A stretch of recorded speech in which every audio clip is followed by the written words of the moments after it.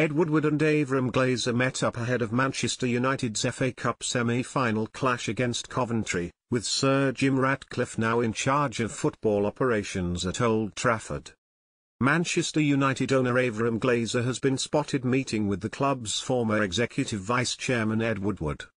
The Glazers have flown to the UK ahead of United's FA Cup semi-final clash against Championship side Coventry, with heavyweight boxer Derek Chisora posting a picture with Avram on Instagram.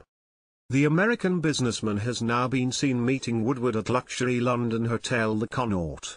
The pair were joined by lawyer Mitchell Nussbaum, who is a director of the Red Football holding company Malcolm Glazer set up to purchase United in 2005. Woodward left the club in February 2022 but remains a friend of the family having helped them buy United in the first place. Following his departure, Woodward has taken on a new role with artificial intelligence firm Sentient Sports and also joined the board of trustees for the Bloomsbury Football Foundation. The Glazers, meanwhile, have taken a backseat in the day-to-day running of the club after selling a 27.7% stake in the club to Sir Jim Ratcliffe for £1.3 billion. The deal has seen Ratcliffe take full control of football operations and he has already made a host of changes. Omar Berrada has been poached from rivals Manchester City to become United's new CEO, while Jason Wilcox has joined from Southampton to become the club's technical director. Dan Ashworth is in line to take over as United's Director of Football, having been placed on gardening leave by Newcastle, but the two clubs are still negotiating compensation.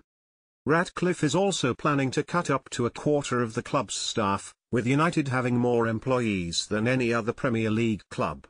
We have a lot to learn from our noisy neighbour, City, and the other neighbour, Liverpool, Ratcliffe admitted in February. New Manchester United co-owner Sir Jim Ratcliffe is making a host of changes to the way the club is run. They are the enemy at the end of the day. There is nothing I would like better than to knock both of them from their perch. He, Sir Alex Ferguson, was the first one who came out with that expression. I am in the same place as Alex, 100%. He was fiercely competitive and that is why he was successful.